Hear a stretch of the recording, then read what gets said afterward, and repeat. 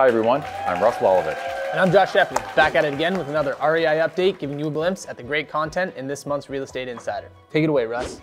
You can start with this one that seems to be stressing everybody out, explaining why the stress test will continue to be used even with the historically rapid rise of interest rates.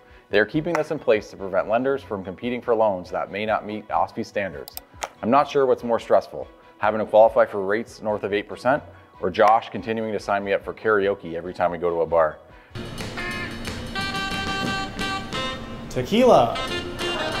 Read more about why this test will remain in the article. It's what the people want, Russ. But speaking of excellent performances, there's rumors that the Canadian pension plan is going to run dry before many Canadians will have a chance to collect. According to this article, that's far from the truth, and the CPP is on solid footing and it's sustainable for at least the next 75 years.